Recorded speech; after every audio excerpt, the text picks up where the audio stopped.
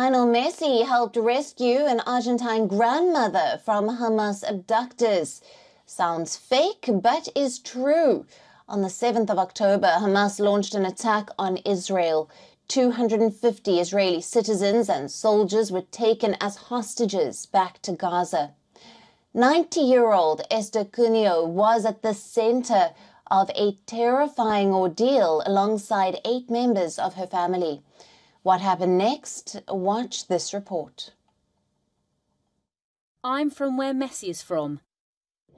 It was these words that 90 year old Esther Cunio credits for saving her during the October the 7th rampage. Moments earlier, two Palestinian gunmen had invaded her home in southern Israel near the Gaza border. Cunio, who was born in Argentina but lives in kibbutz Nir Oz, spoke about her horrifying encounter in a new documentary called Voces del Siete de Octubre Latino Stories of Survival. As the two intruders demanded to know where her family was, she told them she couldn't speak Arabic, only Argentine Spanish. She said they asked what Argentina was, so, seizing the moment, she mentioned it was Lionel Messi's home country. Entonces le digo, vos mirás fútbol. So I tell him, Do you watch soccer? He then says to me, Yes, yes, I like soccer. So I say to him, I'm from where Messi is from. Then he replies, Messi, I like Messi. A mí me gusta Messi. Then a surreal moment happened. Me agarró así del brazo, acá. He put my hand like this, right here. He gave the revolver to me, the shotgun. Me puso la mano así. He put his hand like this, and they took the picture of us. And well, then they left. Entonces se fueron.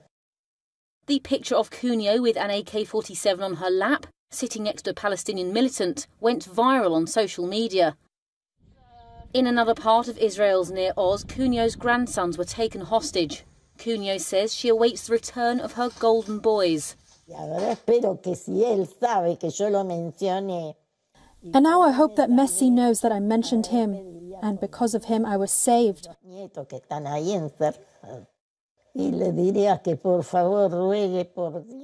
Now I would ask for my grandchildren, for my two grandchildren who are locked up in Gaza. I would tell him to please pray to God to send them to him. Because they are kids who are worth gold, one David and the other Ariel Cunio. The Hamas attack on October the 7th sparked the devastating war in Gaza that has raged for more than five months. Argentina, Peru, and Mexico have said co nationals of their countries have been either killed or kidnapped in the conflict. For latest news, download the WION app and subscribe to our YouTube channel.